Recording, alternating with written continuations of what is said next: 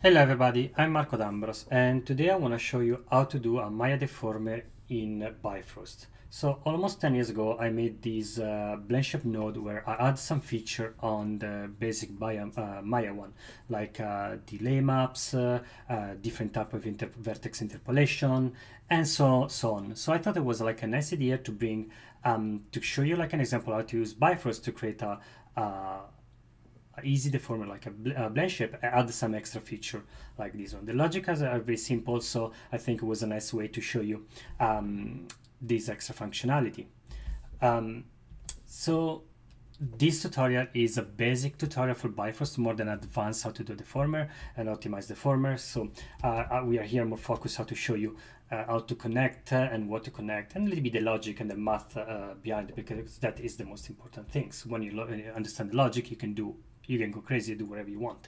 Actually, I very push you, everybody viewed, and if you have any extra feature ideas that you want to share, please share with us uh, on the comment section. I will super happy to read and check, and maybe we share with everybody. So First of all, let's check about Bifrost. Open the plugin and be sure that all the plugin of Bifrost are loaded.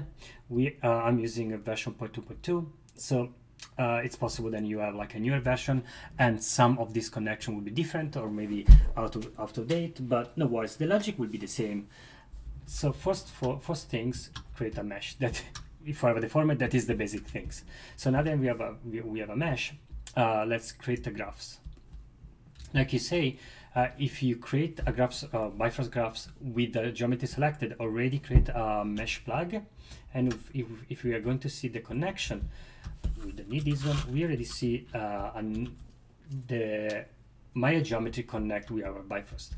But pay attention one thing. Uh, this connection is coming with a world mesh. So depend what are you doing. Maybe it's, is correct. But most of the time, if you want to do a deformer, you want to have out mesh. So just change with this. So let's start from scratch anyway. Uh, first things first, let's create a graph. Now there are not anything here, so we cannot connect it. So if you would try to um, if we trying to get our out mesh and try to connect it, there will be nothing to connect with because we don't have any plug. So I let's create node called value. Uh, this is the is the way that I do to create uh, plugs, but there are probably different others, so don't worry. Uh, object type, this is what we want. So just connected and rename it in mesh. So now we can connect our output mesh with in mesh, and we have uh, and we connect like it is the same the connection that we, we had before. Let's move a little bit our base mesh. Let's connect our in mesh with our output. You, you can see now we create our output mesh. So let's rename it out mesh. Uh, just a small things this is a Bifrost draw. So it's sort of like a locator. It's not a Maya mesh. For, for example if you want to select vertices we can't um, so if you want to interact with the mesh in Maya, you want to have an output mesh, of course. So let's create it and let's connect with our output mesh with in mesh of a cube 2. Uh, spoiler alert, we can try, but we'll not succeed on this connection. So if we're going here, let's go to in mesh here you see, we cannot connect. The reason of that is because that are uh, Bifrost data, so they are not Maya mesh. If you want to connect with any external Maya mesh, you need to create a node called Bifrost Bifrost Geo to Maya. Now we can connect our out mesh and we can connect the Maya mesh Maya mesh to our in mesh. So now these are all connect directly connect. It's like so we can move the same type of data from one node to the other. Amazing.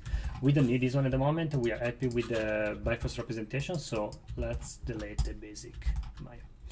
So now that we are here, if we want to do the format, the first things we, we want to do is get the get the point and set the point. So you know, at the former, the end goal of the former is move points. So let's create set point position. Um, the first things we notice that all the node and with this icon here, the symbol here is mean there are compounds and compounds are group of nodes. So if we double click, we can see how these compounds are made. These are set properties, a set property, set geo property. A set geo property is another compound, and you can see here how they made this node. Um, first, so first things, we are lazy, so we love to have something already cooked for, for, for us. And second, if you want to see how um, Bifrost works, that is a nice um, nice things to, to check how they made all this connection and how to use it. So let's connect the geometry and output mesh. Now our, our, our mesh disappear because we did we are not passing any position, so we try to set with a null value. Um, so let's get point position. So like you say, the same things before. This is a compound, so if you go inside, you can see what there is. We can connect it and we can connect here. So now we are passing the same, we are doing the same things than before. We are passing a mesh, we get all the point position, we set all the point position and we come back. So we need to do something in the middle to change the position of our vertices. Uh, one thing I want to show you here, a couple of things actually. One is the different type of plug. You can see this shape here. This is a, a single data. Instead, this one is an array of data because these are our points position. Uh, let's rename this one in base point point position. Uh, another thing is if you select the connection and do right click, you can add what watch point. And this will tell you like the type of data that is passing here. So we're passing point position, size 8, because like I say, is an array, and this is the minimax value.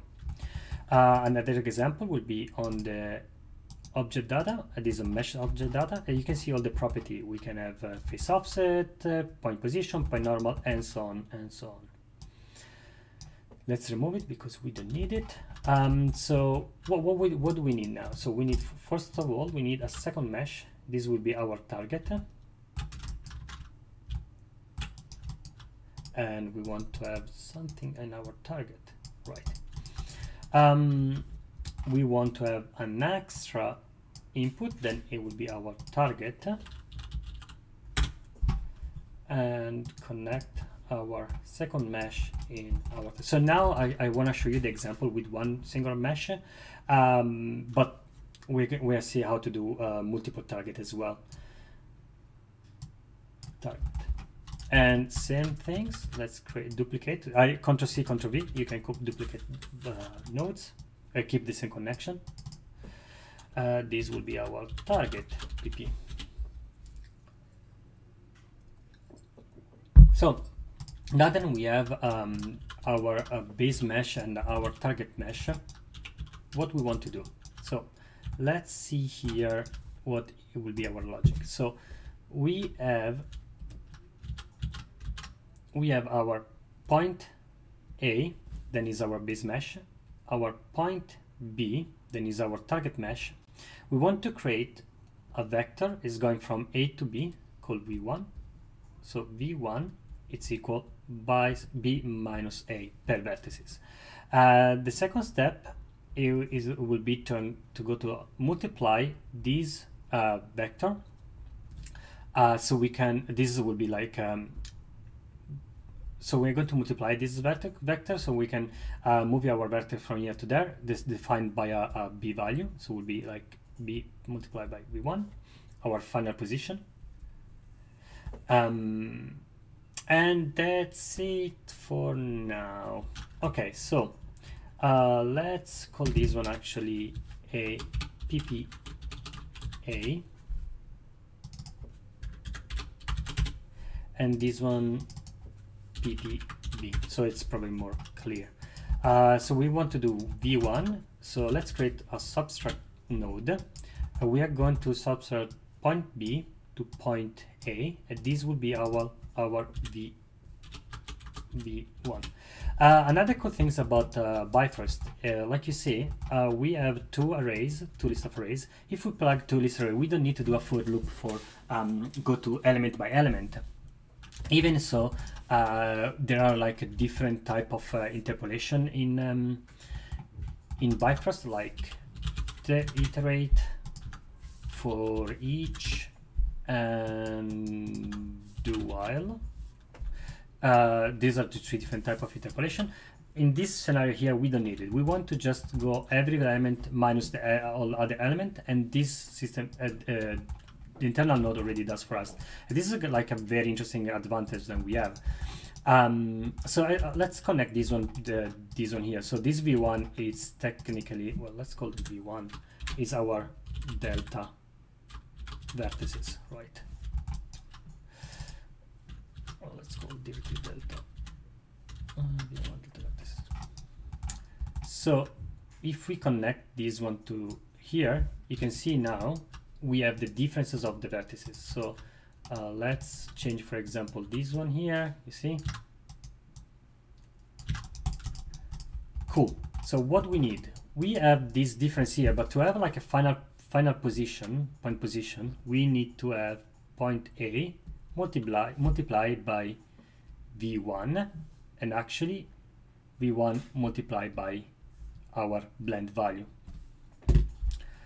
So let's uh, add an extra uh, node. Like if I tap tab, press tab and search for the name, I create a node, of course, uh, and you see this one already. But if I select a connection that already exists and press tab, it automatic the, the system Bifrost already auto, uh, automatically connect the, um, the create the node in between and create a connection. So we need to add our base point to our delta, and now we come back. This is our final mesh. So we are already in our final position in terms of uh, blend shape. Um. So what we need now, we need to create the B. So we need to multiply our, our V1 for a B value. So let's multiply here and let's create a value.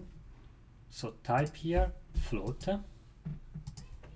and this will be our blend attribute. So now then we have our blend attribute. We can just connect this one to our multiply. This come back to zero because uh, I can show you at watch point. You see the value is zero. So if we select our Bifrost node, this the blend is zero. And now we can change this float. You can see the number here changing and change the multiplication here. Um, so it's around 10 12 minutes at the moment so i think it's uh, it's a good point to stop it. Uh, i'm going to create a second video where i'm going to show you i start to add some extra feature uh, some extra feature. Thank you very much for watching and let's see you in the next video